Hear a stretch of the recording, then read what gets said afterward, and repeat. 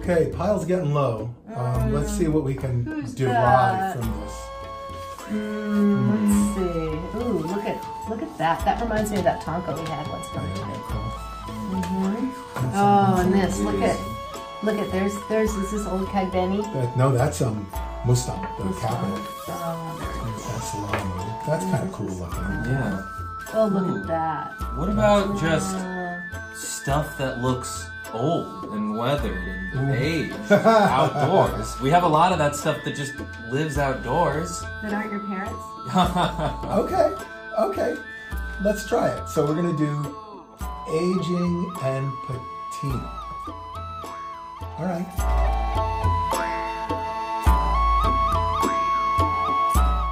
One of the ways that you make a story seem like it has been going on for a long time is by taking the objects in that story and giving them a sense of history.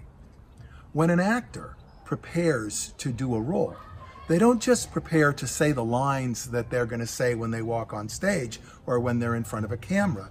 They prepare an entire personality, an entire history for themselves that leads to the moment when they walk on stage or walk in front of a camera.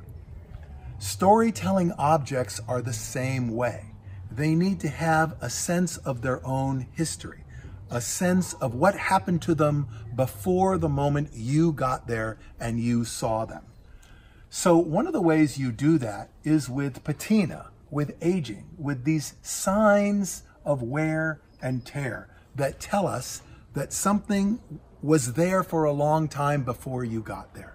That means the story has been going on and you're just joining the story rather than it started in the instant that you you got there. Now patina can be real. It can be the result of actual wear and tear. Uh, this has been sitting outside for a long time. The paint has peeled, the wood has split, little pieces have fallen off. Um, you know, the color of the wood has bleached out. That's a real uh, process of aging. This, on the other hand, is, you know, kind of new. It's handmade. The copper uh, on the forehead was brand new. The wood was brand fresh. Um, the, the fabric was shiny and brand new. All of this has been artificially aged to give it a sense of age, a sense of time passing. Same thing here, by the way. This is a bronze from Nepal. It's not old. It's not some antique. All this um, is a deliberate chemical patina uh, that is added to the statue to give it this sense of antiquity. But it all does the same thing. It stops the object from being something that just started right now. And that means the story didn't start right now. The story has been going on. And only under those conditions, where you understand that something has been going on for a long time, can you join into a story. That's why Animal Kingdom, which is about a whole bunch of stories that don't really have a beginning or an end because they're wildlife conservation stories, they go on and on and on.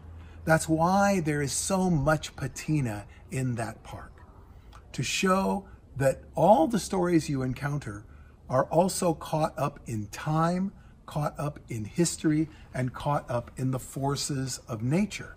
And that as long as you're engaged with these stories, you too are caught up in time, caught up in history, and caught up within the forces of nature.